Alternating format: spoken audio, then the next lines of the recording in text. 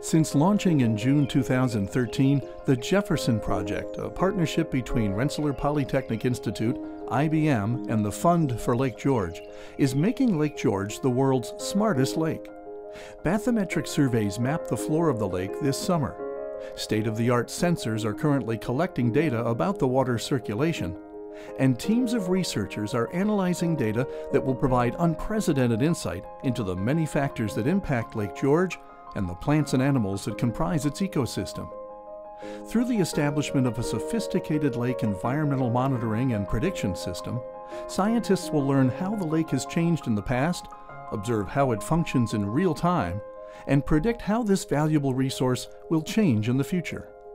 The water in a lake like Lake George is very important, not just for preserving uh, recreational uses, but for understanding how to have balanced use and preserve the quality of fresh water.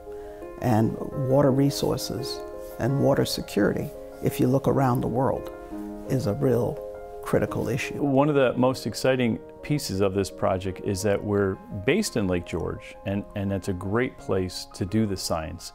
But we all understand that the discoveries we're making, the technology that's being invented, the interdisciplinary nature of the scientists working, the approach that we're taking, and the insights that we're having are really applicable to lakes around the world. It's an extraordinary opportunity. It's an unprecedented partnership. And I think the promise is uh, like nothing I've ever been involved with before. Um, I couldn't be more excited. Lake George, like many water bodies around the world, is facing a number of stress points.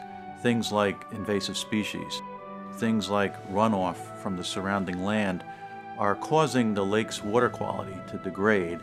So we have a number of sensor technologies, a number of big data technologies, and a number of computational modeling techniques that we hope to bring together from around the world here at Lake George to study the impacts of these stressors on the lake.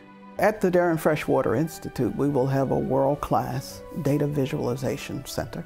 What we will be doing is instrumenting and networking the lake. So we will put in sensors that can take those measurements real time in an automated fashion. The data will be transmitted back to our visualization computation facility. We're sensing the movement of the water, the nutrients that are in the water, all of the plants and animals that are in the water. And we're doing this for multiple years. Together, we expect that we'll see emerging discoveries that no one was even looking for. Our students, of course, will be the environmental stewards of tomorrow because they're the ones who will be here tomorrow. And if we educate them in the right way, then they will not only have the orientation to be the environmental stewards of tomorrow, they'll have the tools and the approaches to, in fact, do that.